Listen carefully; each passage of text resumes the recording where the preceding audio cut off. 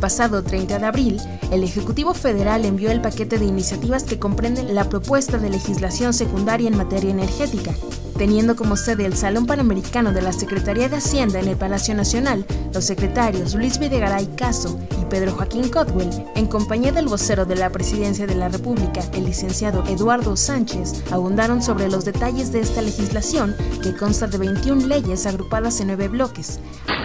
Ha presentado el presidente de la República eh, al Senado un paquete de legislación secundaria que consta de 21 leyes agrupadas en nueve bloques. Se trata de ocho leyes nuevas y 13 que van a sufrir modificaciones. Los principios rectores de este trascendente paquete de reformas a la legislación secundaria en materia energética son los siguientes. Se reafirma el principio constitucional que la propiedad de los hidrocarburos en el subsuelo es de la nación. El segundo es la libre concurrencia y la competencia entre empresas del Estado y particulares en todas las actividades, tanto en la exploración y producción, transformación, logística y electricidad, en beneficio de los consumidores. En lo que concierne a los órganos reguladores coordinados del sector energético y los cambios que tendrán CFE y Pemex, el secretario de Energía comentó.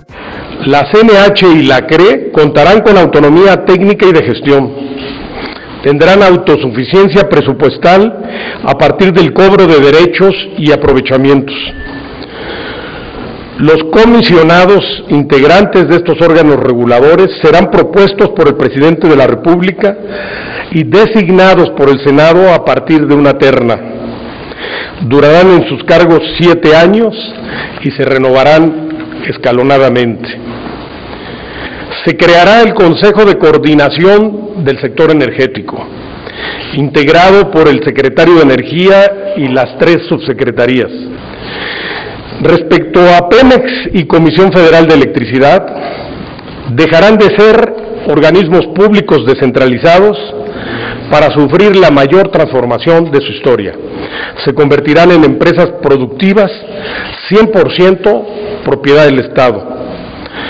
Gozarán de autonomía presupuestal y de gestión. Una demanda histórica de Pemex y de la Comisión Federal de Electricidad que se atiende con esta reforma. Lo anterior implica que tendrán un régimen especial en presupuesto, deuda, contrataciones, bienes y remuneraciones.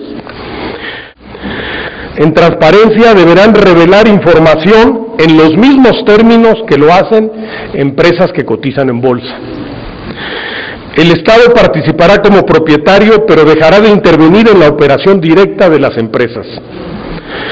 El Consejo de Pemex se conformará por los titulares de las Secretarías de Energía y Hacienda y Crédito Público, otros cinco consejeros designados por el presidente de la República y cinco consejeros independientes que no formarán parte del sector público y deberán contar con requisitos de capacidad y experiencia en la industria.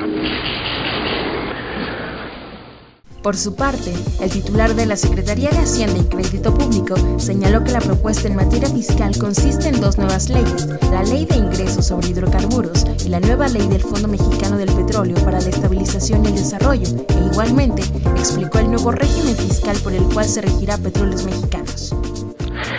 En el régimen fiscal actual de Pemex existen dos problemas muy importantes. En primer lugar, es un régimen fundamentalmente rígido, prácticamente mecánico, que extrae una gran cantidad de recursos de Pemex sin reflexionar cuál es el mejor uso social de las utilidades.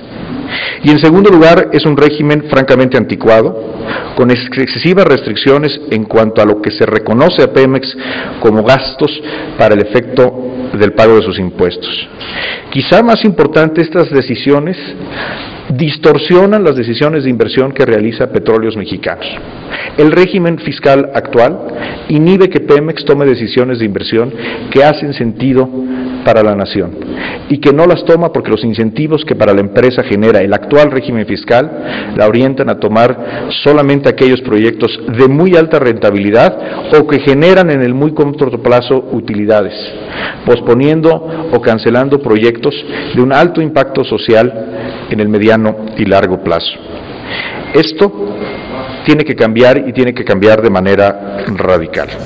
Finalmente, para desahogar las leyes secundarias en materia energética, los coordinadores de las bancadas del PRI, PAN y PRD en el Senado de la República prevén tres periodos extraordinarios entre mayo y junio. Para Oil Gas Magazine, Daniela Loredo.